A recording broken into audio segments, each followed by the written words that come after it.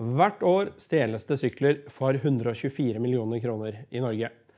Og tallet i fjor det var økende med 30% Det er viktig når du kjøper deg en dyr og god elsykkel fra oss, at du også kjøper en god lås som du kan beskytte sykkelen din med. Hos oss har vi et stort utvalg av låser fra Abus. Bestselgeren vår Bordo 120, Bordo Big. Samme låsen får du med alarm. Første har sikkerhetsnivå 10. Det har også den med alarm. Eller så kan du gå over på en kjettinglås. Dette er en even, sikkerhetsgrad nummer 10. City Chain, sikkerhetsgrad nummer 11. Og så har du Granitt City Chainen, som er sikkerhetsgrad 15.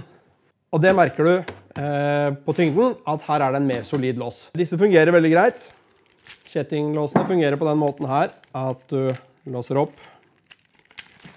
De er fleksible og lette å bruke. Mens eh, disse bordoene er veldig greie å ha med seg.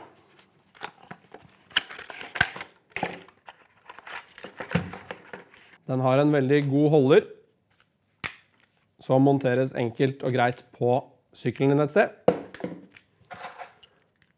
Og når du skal låse opp og igjen med den, tar du den ut sånn. Rundt sykkelen og en stolpe. Og låser. Dette er de mest praktiske låsene å ha med seg på tur.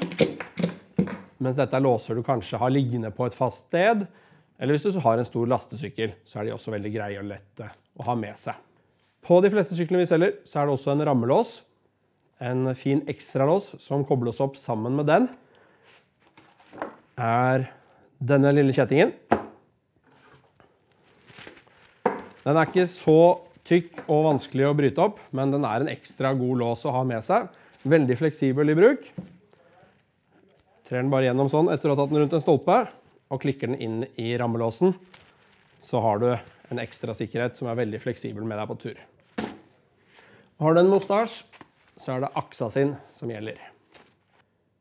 Da har vi gått gjennom litt av låsene. Vi har enda flere låser i vårt utvalg.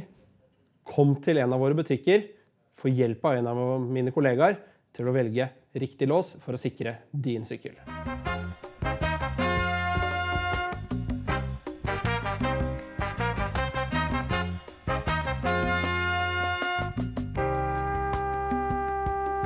Thank